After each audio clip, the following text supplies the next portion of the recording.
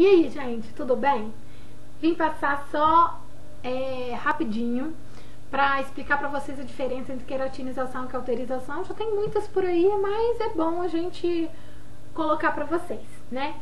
Então, pessoal, é, a cauterização ela tem, em primeiro lugar, a queratina em gel ou então a creatina em gel, tá?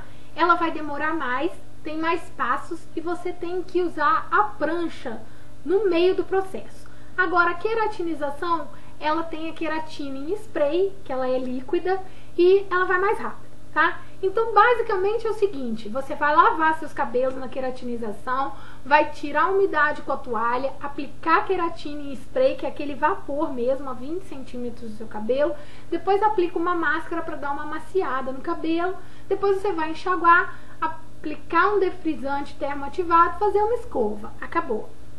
Agora, a cauterização, o que, que acontece? Você vai lavar com produto anti-resíduos, tem que ser umas duas vezes, tá?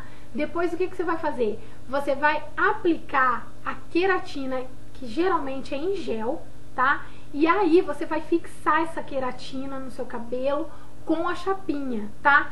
O é, que, que acontece? Você aplica a queratina, seca, chapa. Depois, você vai lavar os cabelos e aí você vai aplicar uma máscara, depois vai enxaguar e vai aplicar um produto para blindar os seus cabelos e depois você vai secar de novo, tá?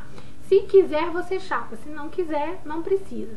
Porque tem inclusive a reconstrução molecular da hum, L'Oreal Professional, que é basicamente isso aí, tá?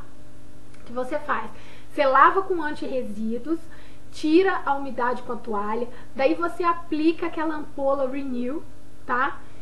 Nos seus cabelos, daí você seca, chapa, espera esfriar e vai enxaguar. Daí você vai aplicar o shampoo Absolute Repair, depois você vai vir ou com a máscara ou então com a ampolinha Power Cell e deixa ela agir por algum tempo, vai enxaguar, depois você vai passar o condicionador e vai passar o termoativado, né, o livrinho termoativado que vai blindar. Às vezes é aquele é um spray termoativado. Tem gente que às vezes usa um, um serum para finalizar, enfim. É esse o processo, tá? É essa a diferença entre essas duas aí, tá bom? Então, um beijo, saúde e paz, a resta a gente corre atrás.